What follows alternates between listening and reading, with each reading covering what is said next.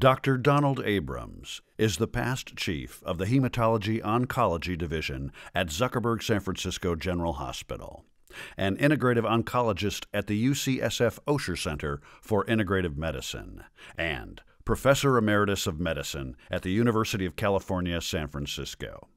He has conducted numerous clinical trials investigating conventional as well as complementary therapies in patients, including therapeutic touch, traditional Chinese medicine interventions, medicinal mushrooms, medical marijuana, and distant healing. His particular passion in the field involves nutrition and cancer.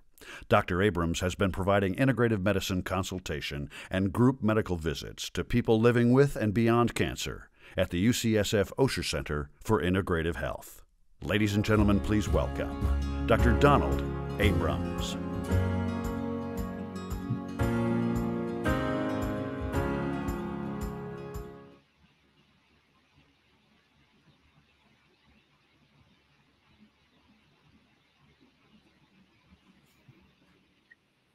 Good afternoon and welcome. I am Donald Abrams and I'm here to talk to you today about medicinal mushrooms. And I do have some uh, disclosures that I want to share.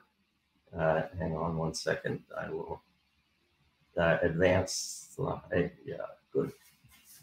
So uh, I am a scientific advisor to a website called Wellcasa, which provides information on uh, potential interactions between supplements and pharmaceutical drugs. And also got a speaker honorarium from Metagenics in Australia. I'm also a personal friend of Paul Stamets, who we're going to hear about a little bit later on. And his company, Fungi Perfecti, uh, in the past has sent me my mushrooms mostly at no cost. And then I did want to uh, share that I have never myself experienced any psychedelics. So I want to start by uh, framing the talk around a patient case. This is a 31 year old gentleman who I saw with metastatic rectal cancer seeking an integrative health approach to fighting his cancer, uh, first seen in November of 2016. He had a history of five years of pelvic discomfort uh, that was not really uh, diagnosed. It was worse when he was biking or running. Uh, when he developed rectal bleeding, he was treated for hemorrhoids, but during his honeymoon in March of 2016, he was noted to have bad eating habits and also uh, what he ate often would trigger worse pelvic pain. He finally convinced his uh, primary care provider to send him for colonoscopy, which revealed an ulcerating adenocarcinoma in the rectum, and his staging workup demonstrated a large liver mass and multiple bilateral small pulmonary nodules consistent with widely metastatic rectal cancer. So uh, he began chemotherapy at UCSF the week before I saw him at the Osher Center. His uh, profile, he was a filmmaker married for one year to a Facebook employee. He was raised in a beef jerky sausage factory. Both of his parents died of cancer in 2008. He's the third of four uh, siblings having three sisters. He was raised Catholic and has resumed his church attendance and has now become very spiritual. For the past 10 months, he's adopted a vegan diet uh, and gave up uh, alcohol as well. When asked about cannabis use, he said he used it less than a dozen times in the past, but he's now trying to become an expert. When asked what brings him joy, he said children, dance parties at home. When I asked him what his hopes are, he says, I have too many hopes. And then he said, to beat the cancer. When asked where his strength comes from, he said, his DNA, his friends, and his family. On examination, he was a healthy young man in no acute distress. He was uh, not obese or overweight. He had a chemotherapy port in his right chest and no swollen glands or enlarged liver. His current medications and supplements included aloe vera, beta 1,3 glucan, which is a medicinal mushroom uh, cell wall component, a multivitamin, an additional maitake mushroom capsule, turmeric, cannabis, and the antiemetics and uh, antidiarrheal agents prescribed to go along with this chemotherapy. So mushrooms, uh, we all know that they can be very delicious foodstuffs Uh, in fact, uh, we think of them as plants, but mushrooms are their own kingdom, the fungi, and they are more closely related to animals, in fact, than plants.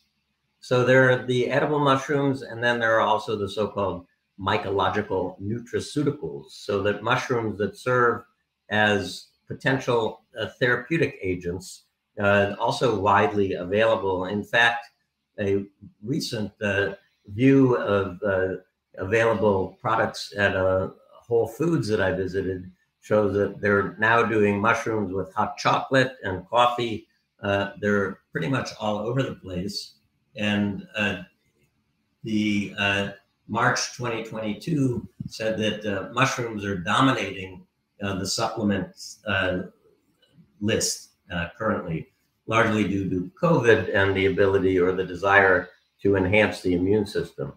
So, what is the history of medicinal mushrooms? Uh, we in the West are a bit what I call fungophobic. We're fearful of mushrooms. In fact, I just got a MyChart message today from a pharmacist asking, uh, should we stop this patient's mushrooms because her liver function tests are increased? Well, I think it's more likely that the liver function tests are increased uh, due to the chemo that she's getting and not the mushrooms. Uh, Asian and Eastern European societies are more fungophilic, if you will, where they like mushrooms and hot water decoctions or teas, if you will, from certain fungi have long been recognized to have health promoting effects. Again, particularly in Eastern cultures. There are about 300 species of uh, fungi that are felt to have therapeutic potential. The crossover to the West actually was stimulated by data shown in the graph at the bottom uh, of this slide, uh, farmers in the Japanese prefecture where they grow enokitake mushrooms, those are the thin white filamentous ones that are present in miso soup, uh, have much less rates of cancer uh, than farmers in neighboring prefectures. So this uh, allowed uh, scientists to look at these mushrooms and found that they have uh, specific active constituents that may have some anti-cancer activity. Medicinal mushrooms are, are uh, mushrooms in general uh, that are used uh, as medicine or as foods uh, generally are tastier than our traditional white button mushroom that we are so focused on in the West. That's in the agaricus family. Uh, the market for mushrooms, as I mentioned, is really skyrocketing. Uh, there is increasing evidence that uh, mushrooms might decrease, mushroom consumption might decrease the risk of cancer. A study in Japan looked at uh, 36,000 uh, men, uh, middle aged men, followed for a median of 13 years.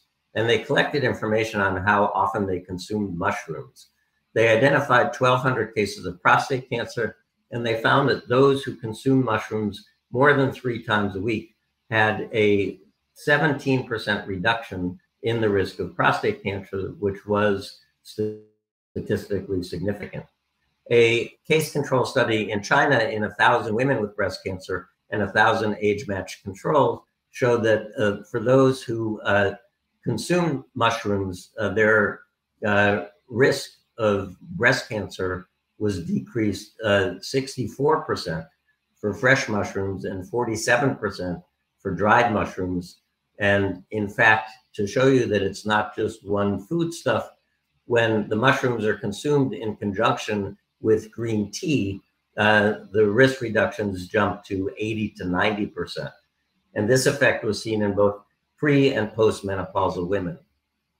And I think the next slide, yeah, is uh, a more recent study published just last year. Uh, 17 observational studies were looked at in a systematic review and a meta-analysis, and they identified almost 20,000 cancer cases. Higher mushroom consumption was associated with a lower risk of total cancer, uh, again, a 34% reduction, 35% uh, reduction in breast cancer, and a less robust but still statistically significant 20% reduction in non-breast cancer. These associations, however, were only observed in the Asian studies. And again, the strongest association was for reduced risk of breast cancer. Uh, this is a so-called forest plot, And any dots to the left of the line going down the middle uh, suggest statistically significant findings. And if the line, uh, the horizontal line crosses that vertical line, it means it's not statistically significant. So again, this shows that breast cancer had the most uh, profound response to the consumption of mushrooms in reducing the risk. And again, this is uh, what I just uh, showed you previously. And one thing about mushrooms is that there are very few food sources of vitamin D or sunshine vitamin. Most of them are things that I do not recommend. Fortified orange juice, fortified milk. Those are two things that I don't suggest that people drink. Uh, other sources of vitamin D in the diet are deep cold water fish, the same fish that are good for omega-3 fatty acids, salmon, black cod, albacore tuna, herring, mackerel, and sardines. But an interesting thing is if you take fresh mushrooms and put them outside in the sunshine, they will actually generate vitamin D2, which is less uh, uh, potent than vitamin D3, but still is a nice uh, food source of uh, vitamin D. What else do uh, mushrooms have? Well, they're, they're not a, a source of fat or cholesterol. Uh, they have a little potassium, very low carbohydrates, no sugar. Mainly, they do have some other vitamins uh, and uh, minerals in trace amounts. So, uh, what is it about mushrooms that makes them medicinal? Well, first of all, the uh, mushroom life cycle is something that is very interesting because they start by producing a mycelium mat, if you will, underground that grows and grows and connects and is oftentimes in association with specific other uh, plants, uh, particularly trees. And then when the mycelium feel it's time uh, to reproduce, they pop up above ground and produce the so-called fruiting body, which is what we recognize uh, when we buy mushrooms in the store. And then to propagate themselves further, many mushrooms are producing spores, which they can eject uh, from underneath their cap at uh, speeds and intensities that they say are equivalent to launching a, a rocket from uh, Cape Kennedy. And those spores then go out further and uh, can get under the ground and reproduce new mycelium. So medicinal mushroom products actually are based on either mycelia or the uh, fruiting body, or even uh, some products are based on the spores.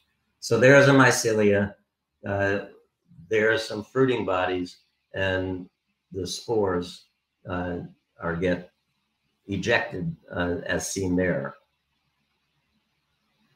Uh, so I mentioned in the patient story that he was taking beta glucan. So the beta D glucan, it, it's a series of uh, sugar compounds that are connected in a way that we don't actually digest them uh, very well. And the uh, beta glucans simulate a bacterial cell wall so that we, when we ingest these medicinal mushrooms, our body is fooled into thinking that we're being infected by a bacterium. And it mounts a non-specific immune response, stimulating cytotoxic T lymphocytes and natural killer cells to fight off the bacteria, which we also hope uh, will fight off cancer. So that's pretty much uh, how these mushrooms work. Again, the beta glucan walls uh, demonstrated below, uh, complex with complement on the cells of the immune system that really turn on the immune response. And, uh, you know, for this reason, I'll just state here, the immune activation of our new immune therapies is so potentially therapeutically beneficial that I tell my patients not to take medicinal mushrooms if they're on an immunotherapy because I don't want the mushrooms immune enhancement to, to interact or potentially decrease uh, the uh, very significantly therapeutic immune enhancement from the immunotherapies. This is just me, uh, one of my gestalts and fears, uh, but I do uh, present it to my patients who are on immunotherapy. I also don't think medicinal mushrooms should be taken by patients who have lymphoproliferative malignancies, that is chronic uh, lymphocytic leukemia, the lymphomas, or multiple myeloma. But again, this is just Donald's prejudice and not based on any science because those cancers I feel are already an enhanced or hyperactivated immune system, and I don't want the mushrooms to enhance the immune system even further. So again, with regards to anti-cancer activities, there's this non-specific immunostimulant effect, which I just described.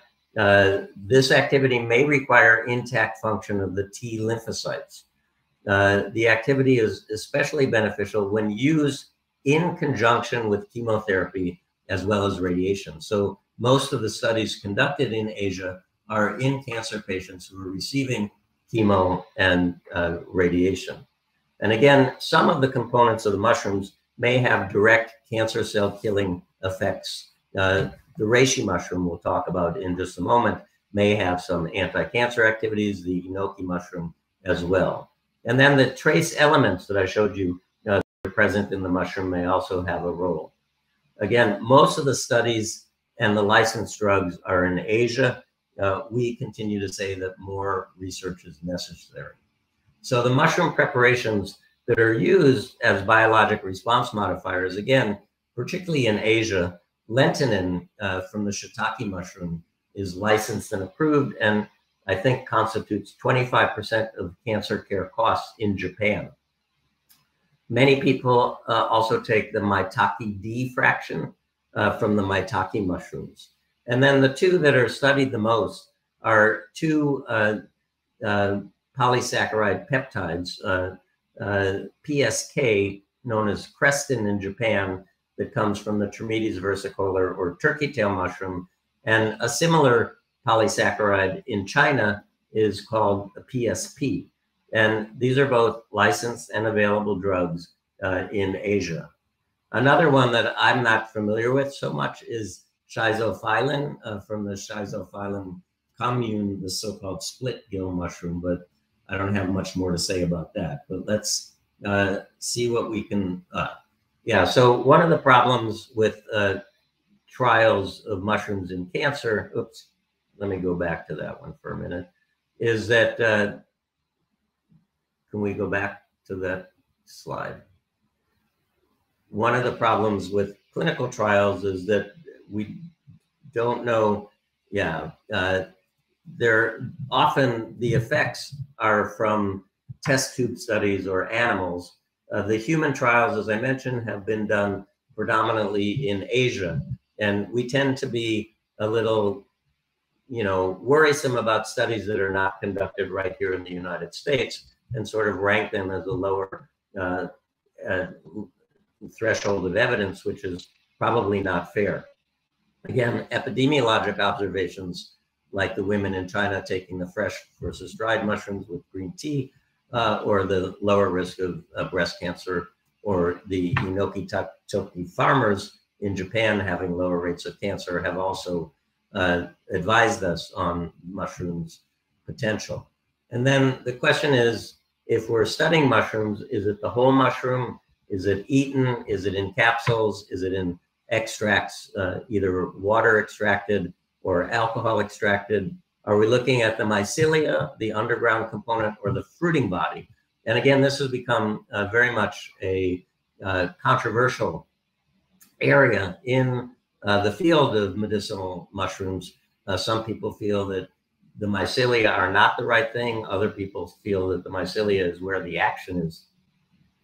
And then are we looking at the whole mushroom or just isolated fractions as the PS, PSK and PSP and the active hexose correlated compound? So let's look at maitake, which is the mushroom that the patient was taking, also known as hen of the woods. This is an edible mushroom.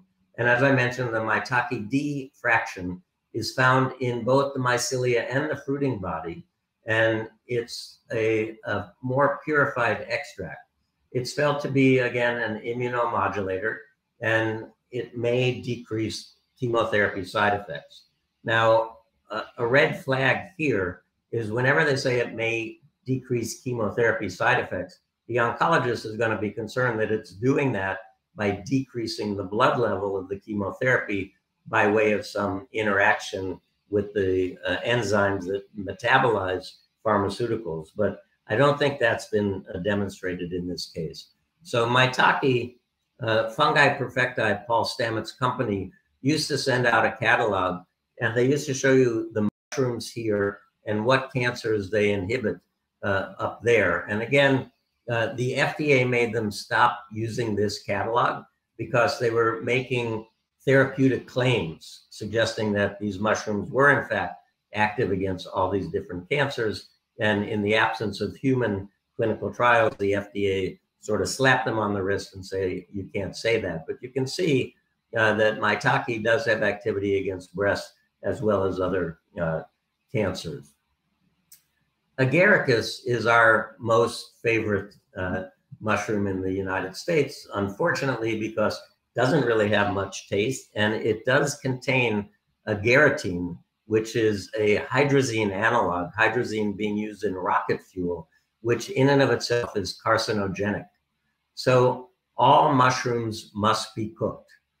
All mushrooms must be cooked. Slicing white button mushrooms and throwing them in a salad is a no. They contain a cancer causing compound. In fact, when I eat dinner with Paul Stamets and his wife, if we go out for uh, food where uh, there are white button mushrooms cooked in a meal, he will not, he picks them out.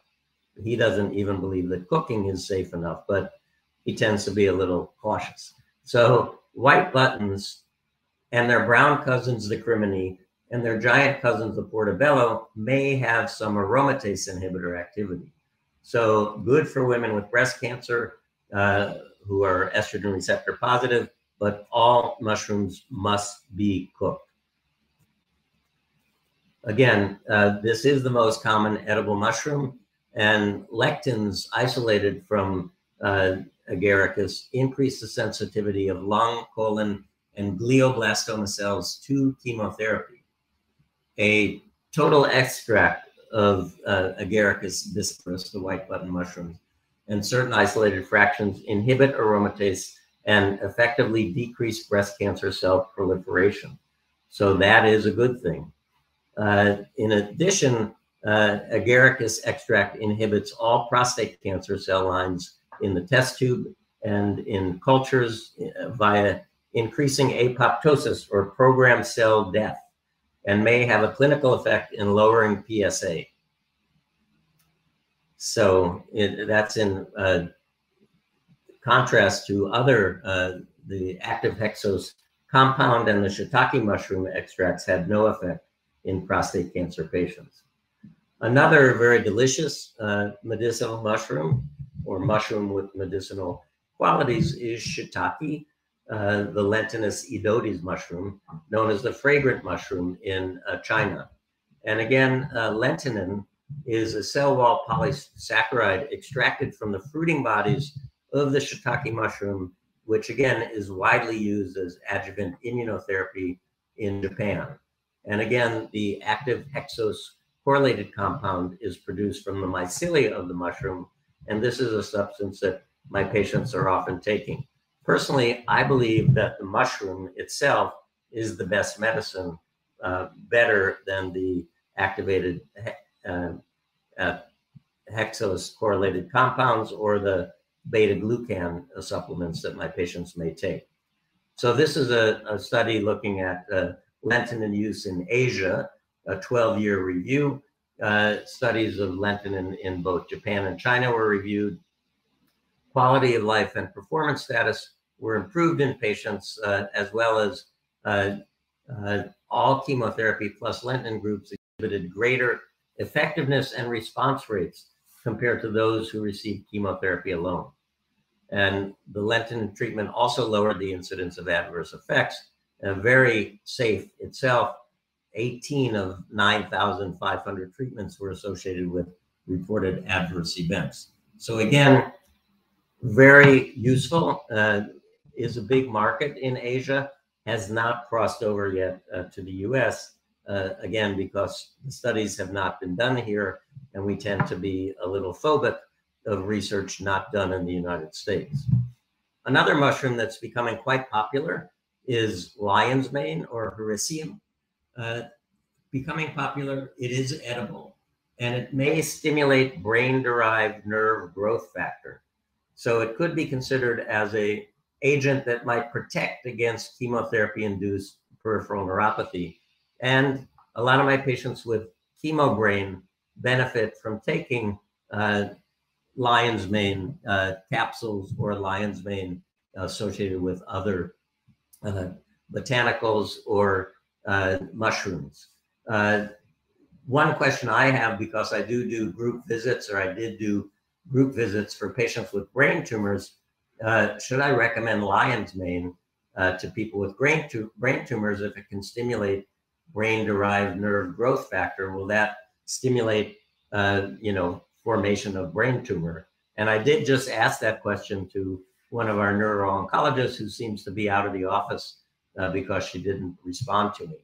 I will say if you can find uh, lion's mane in a farmer's market, that it really is delicious. I gave a lecture in Taiwan once many years ago uh, on integrative cancer care.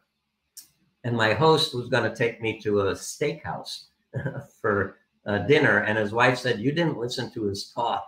He doesn't eat red meat.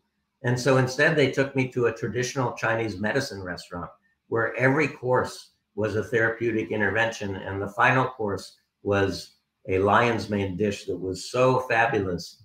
Uh, I can't, I can't even, you know, I still remember it many years later. So, a good source uh, of information about some of the mushrooms is the National Cancer Institute Physician Data Query website.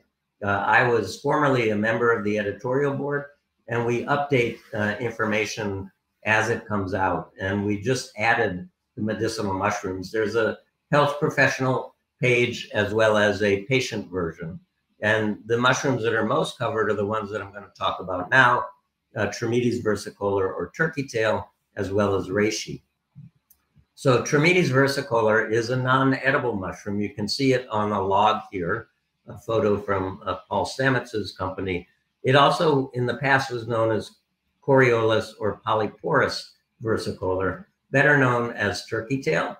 In China, it's Yunzhi, the cloud fungus. And this is the one where in Japan, they isolate a PSK, and in uh, uh, China, they isolate a PSP uh, to use as uh, treatment uh, in conjunction with patients getting chemotherapy and radiation. Okay, so it's the PSK which constitutes 25% of cancer care costs in Japan today.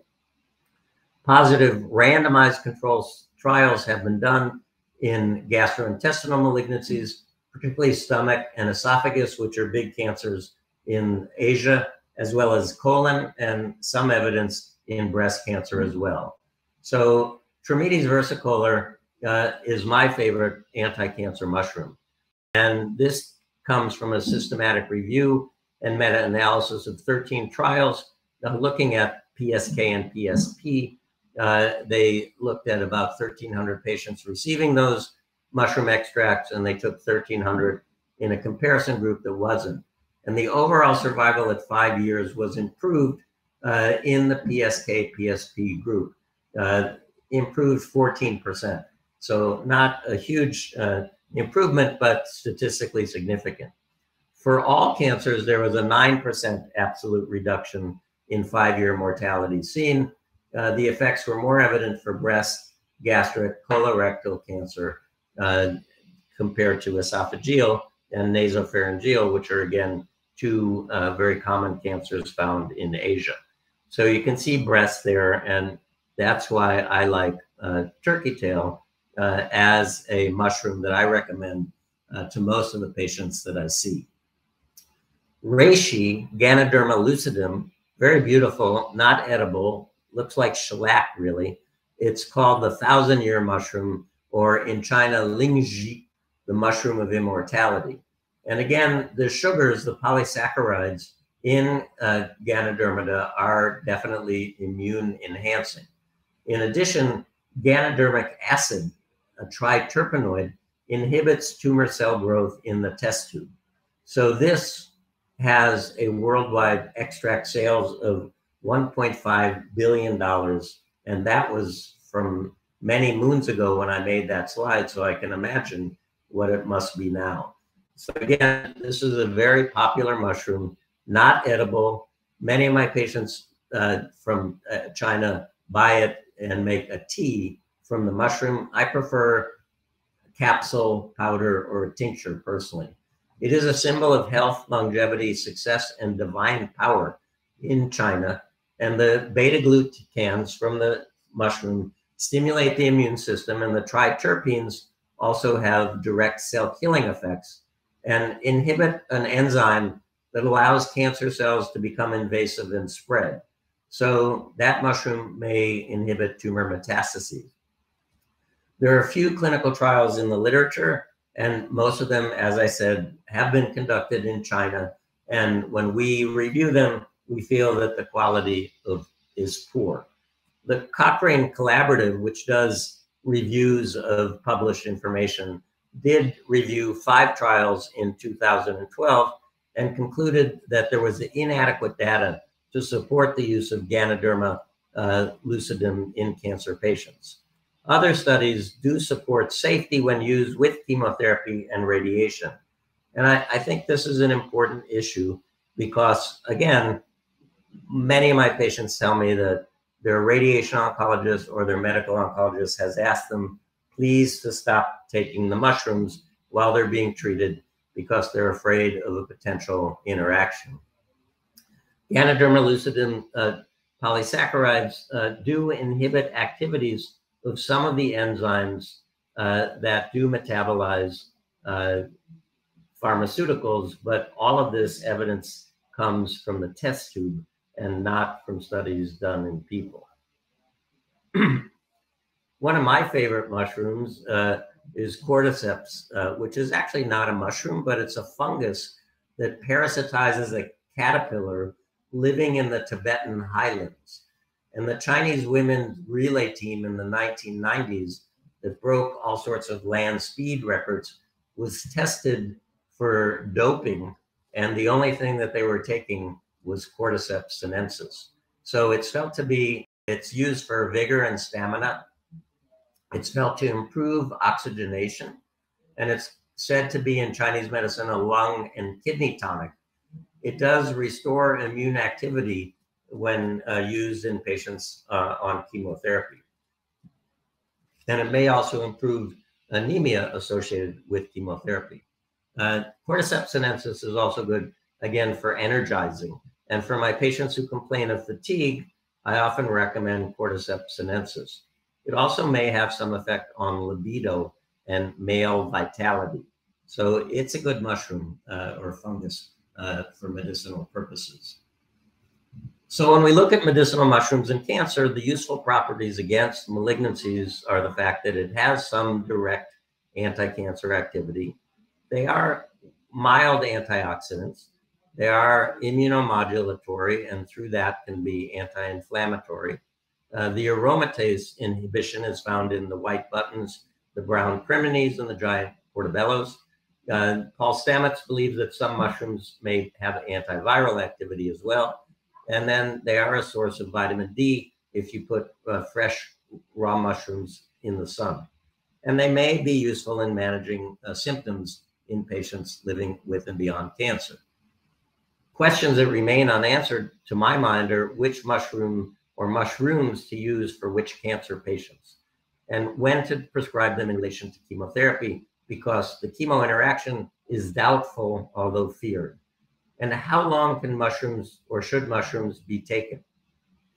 I learned from a traditional Chinese medicine practitioner many years ago that he doesn't believe the body should see the same mushroom every day. And he believes that there are seasonal adjustments that should be made that you should take this mushroom in this season and this one in that season. The long-term safety and effectiveness, however, are unclear. There's a book that I'm going to show you at the end of my presentation uh, that I just read, a clinical guide to medicinal mushrooms, where he agrees with the Chinese medicine practitioner that the body doesn't like to see to see the same mushroom every day. And so I often recommend that my patients take turkey tail for four to six weeks because as other biological agents that we use, it takes time for the mushroom to reach its full potential benefit. And after four to six weeks, that benefit may decline.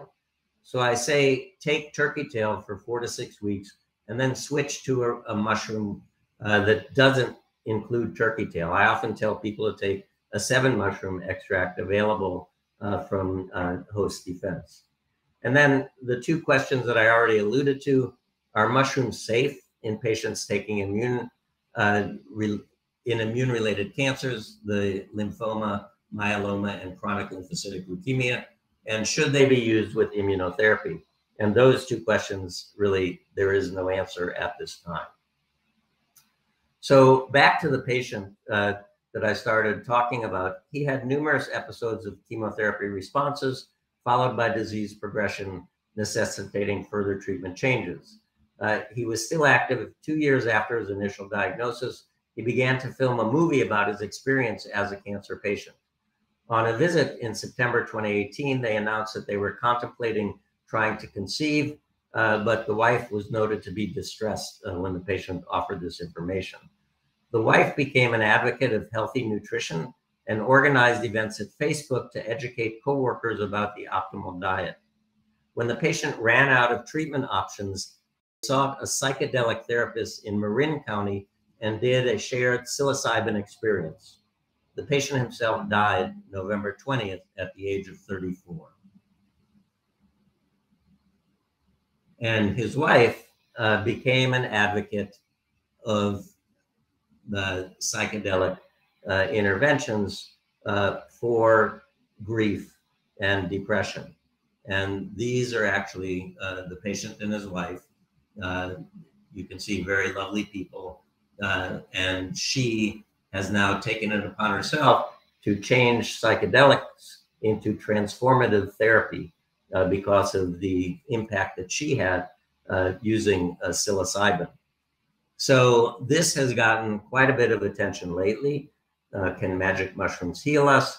Psilocybin performs at least as well as leading antidepressants, and uh, there have been studies in patients uh, living with and be beyond cancer uh, looking at psilocybin in cancer-related anxiety and depression.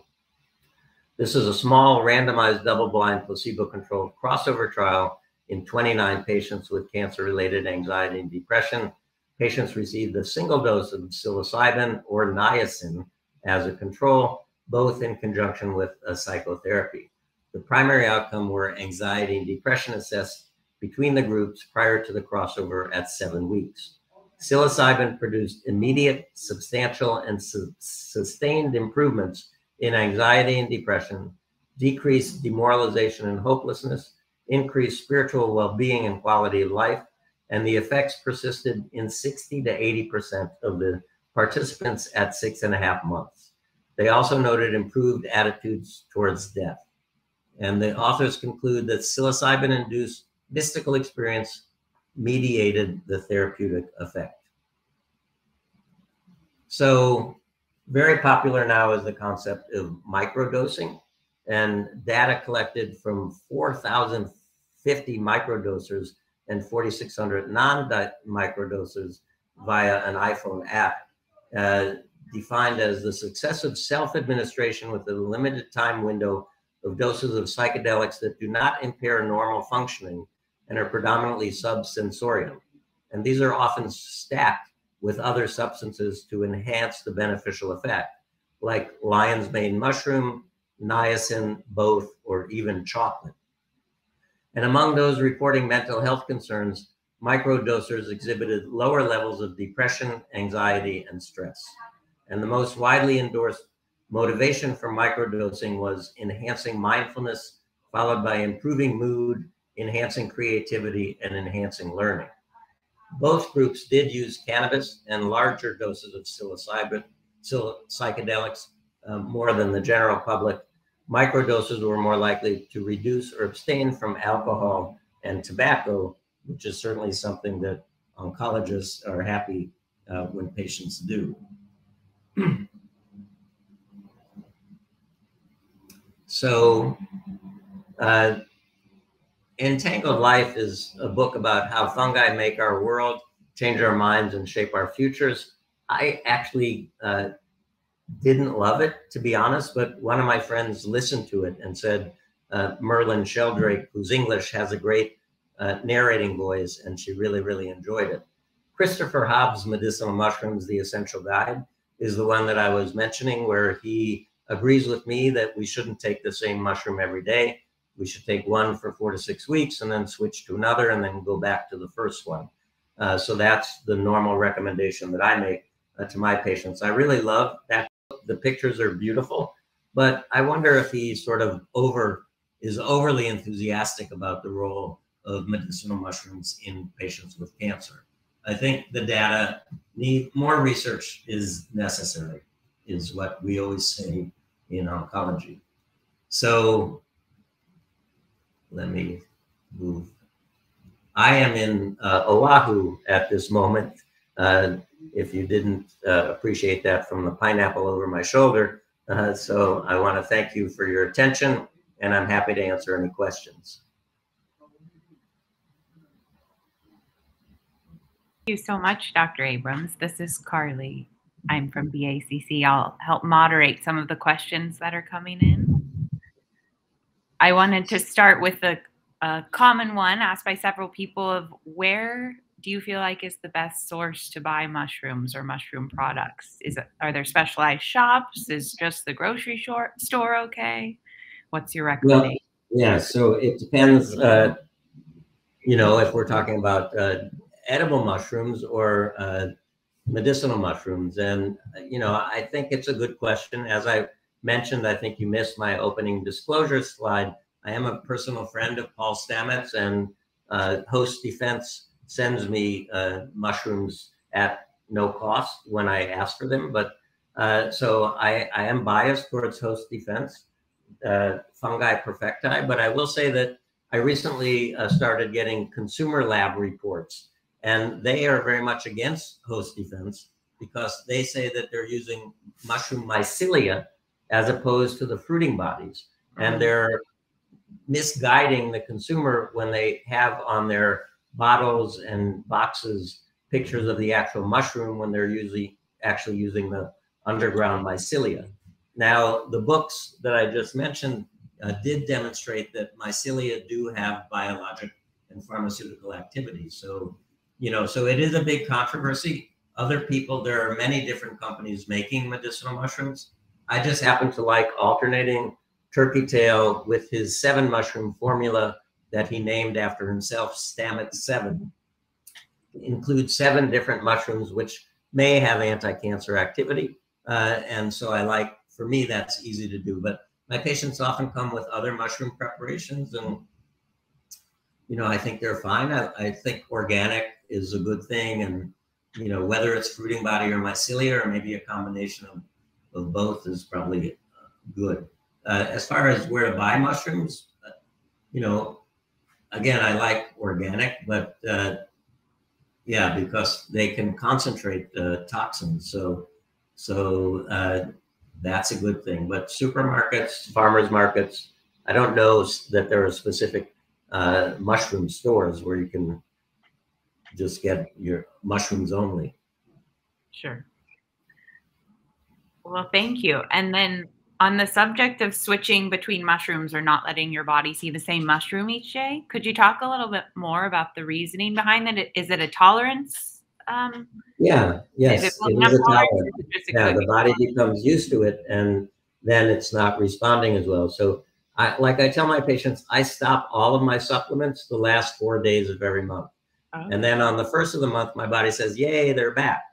I just don't think it's good to take the same supplement every day forever. Sure. Because yeah, you do become we're sort of like bacteria. If you give this bacteria the same antibiotic, then there's going to be some that are going to become resistant. So I think mixing and matching is a good thing to do. So I say take one for four to six weeks, which is also what uh, Christopher Hobbs says it takes for something to become uh, its maximum benefit before it loses it, and then switch at four to six weeks.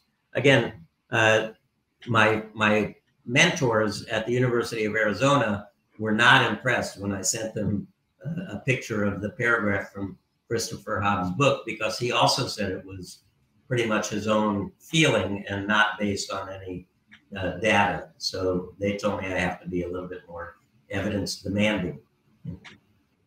But it makes comments good sense to me. And the fact I, I am a fan of traditional Chinese medicine. And the fact that it's supported by the practitioner of traditional Chinese medicine that I uh, believe in a lot uh, is helpful. Sure. Well, thank you. Um, I a few more questions coming in. Everyone's saying fascinating talk and information.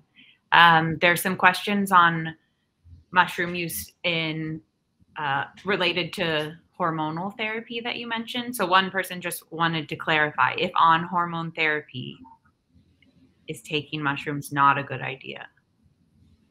No, if on hormone therapy, mushrooms are fine, Got in my opinion. Mm-hmm. Yep. Yep. I give it to all of my patients on aromatase inhibitors and also tell them to eat their agaricus species, the white button, the brown crimini, and the giant portobello, but they must be cooked. And then they also wanted some clarification. Are are there studies or is there data that shows that mushrooms can fully replace aromatase inhibitors, or do you always use them in sort of an No. adjuvant? No, I, I would never recommend that whatsoever. Yeah. Okay. No. no. Um, another question, um, and I I saw this part where you mentioned specifically all mushrooms should be cooked, and so the question is the I, I just wanted to clarify or have you share some more information. I know you mentioned the button mushrooms, but just to be clear, the question from the audience is how should these mushrooms be consumed for best absorption? And it sounds like all mushrooms, not just the button mushrooms, should be Yeah, you, you don't benefit from the mushrooms uh, unless they're cooked. Similar, you know, it's a that whole raw movement. You know that you have to eat all vegetables raw. Yeah, I, you know, I think that cooking actually releases more of the nutrients uh, in most uh, uh, plant products. Mhm. And similarly, mushrooms, all mushrooms must be cooked. And that's, you know, that's usually when I give a lecture, that's the take home point that people resonate with most because nobody knew that. And, you know, when we used to do lunches uh, at, at our uh, San Francisco General Hospital uh, cancer faculty meetings, uh, my assistant would order the food. And when the salad would come with white button mushrooms, she would pick them out because she knew that that that was the case. So yeah, all mushrooms must be cooked. A great take home point and something I learned. And then there's a lot of questions on is there an optimum way to cook them or with an with oil steamed? Uh, If you have thoughts on that. Yeah, I think stir frying, wok, you know, the Asian methods. I, I don't think, you know, if you're making a soup, you can boil them, I guess. But uh, again, many of my uh, Chinese patients do make teas out of some of their mushrooms. Uh, but uh, I just like them stir fried, or you can even uh, bake them. My husband, who's a macrobiotic chef, usually puts uh, shiitake or oyster mushrooms, uh, slices them, puts them in the uh, oven and bakes them at 450 with maybe a little soy sauce or herb salt uh, or some oils. Yeah, uh, those those are really good. In fact, we do oyster mushrooms. He cuts them really thin, and they actually they we don't eat meat, but they taste like bacon. Mm, really weird. Well, we we do eat uh, we eat lamb and, and poultry and fish, so we do eat meat, but we don't eat pork and beef. got it. Such rich flavors. Um, one question related to the tea question. How can a mushroom bo- be poisonous, but drinking the tea is not toxic? Say that again. I missed How that. can a mushroom, you mentioned some mushrooms which were poisonous, but drinking the tea was okay? And just no, I didn't mention any poisonous Okay. mushrooms. Yeah. okay. yeah. So, I mean, there are mushrooms that are poisonous, and that's why you know we become very phobic of mushrooms. I mean, we think you're gonna eat a mushroom and it's gonna rot your liver and you're gonna die, or you're gonna eat a mushroom and have a psychedelic experience and be out of control. So that's the Western attitude towards mushrooms. We're fungophobic, but uh, there are, um, you know, I don't recommend people go uh, hunting for mushrooms in the woods and then randomly eating them if they're not good at identifying them because Mhm. there definitely are toxic mushroom species sure. but none of them that i mentioned are toxic mushrooms i just said that they're not edible because they're of their nature this one is like a piece of shellac so it's not something you're gonna eat I see. I see. Okay. I think that was the point of the that they're not edible, but in that case can can be made into Right. a tea, that's Yeah. why we take them as tinctures or or capsules different Yeah. form. Mhm. Okay. Um, perhaps one more question to end on. The viewers wondering if they want to begin adding medicinal mushrooms to their regimen. How should they go about it? Who should they contact? Where can they go? Should they contact what who can they contact or where should they go to seek out adding medicinal mushrooms to their cancer regimen? Yeah, I mean, you know, you have to let your oncologist know, and the oncologist will generally say, no, don't do that because, you know, you're going to rot your liver or you're going to have a psychedelic experience.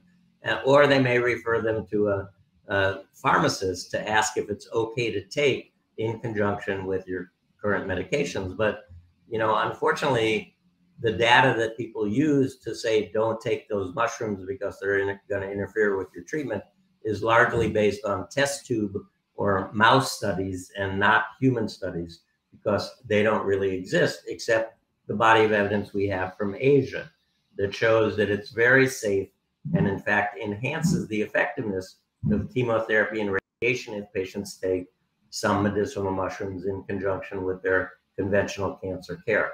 But most of our oncology buddies don't know that unless they've heard me speak before or have some interest in medicinal mushrooms. So always something to share with your oncologist and see how willing they are to allow that. Great, great advice. Well, thank you again for the informative presentation. We appreciate your time.